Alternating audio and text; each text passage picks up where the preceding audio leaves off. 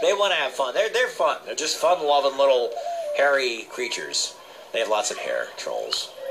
Makes me a little jealous. I'm not gonna lie. Hi, I'm Kenny. It's the Animal Farm. So, how are you? You having a nice day so far? Having a good Thursday? That's good.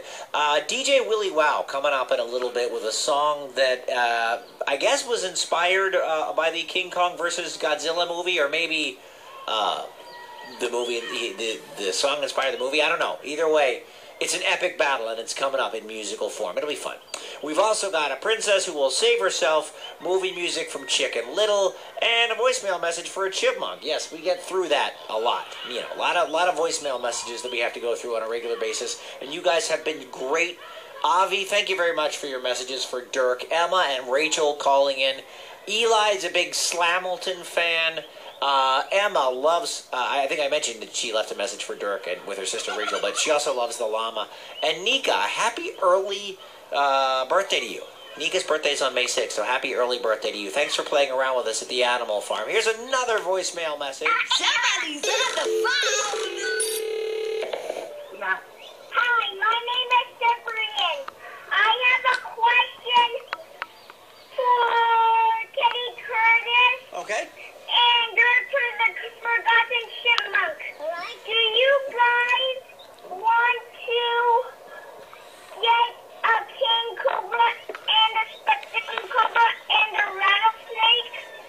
Um, I wonder if that would be fun. fun. Um, Bye.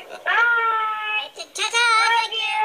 Oh, I love you too. That's so nice. I love, Love you, you. too. Yes. you're, you're adorable. You're an adorable child. You're Yes. so adorable that I'm actually going to consider the idea of having poisonous snakes here at the animal farm. Venice. Ah, you know, if it's up to me, if it was a vote, Kenny, as to whether or not we should bring in uh, a king cobra or a rattlesnake or something along those, I would have to vote no. I'm just going to say that right now. I mean, Okay. you know, I'm an accepting suit. I believe there's room for everyone. To each his own. Sure. You know, you do you, I do me. Right. I get it. I respect you.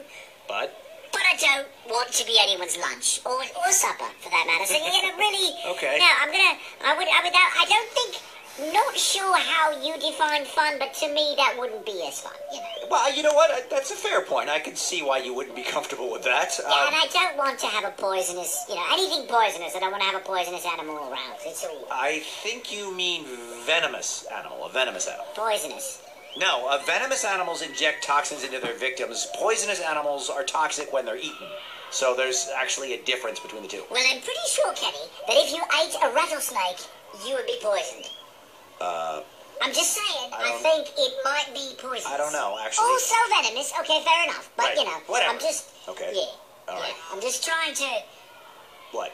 Make myself seem less foolish. Really, is what I'm trying to do. Okay, Uh, right, but well- yeah. Well, thank you for the suggestion. Yeah. Uh, of course, Kenny. This, you know, we can talk about this offline, but I'm just gonna say, please no, please no, Please please, no. no. All right, Those that's snake fine. things would be very nice. You know, I would like to point out that we did have a snake here at one point, and you guys got along really well. Well, that was different, wasn't it? I mean- I mean, you know, again, Wow. not a venomous snake. He was a, you know, he was a, Boa uh, a python. A boa you know, constrictor. Julius Squeezer. Yeah. Delightful. Yeah. Julius, I love Julius. It was wonderful. Julius was great. Yeah, got transferred, but you know, we, we had a wonderful friendship. Well, Big on hugs, very big on hugs. yeah, he liked to hug you a lot. I remember pulling you out of some of those. I think he's just being affectionate.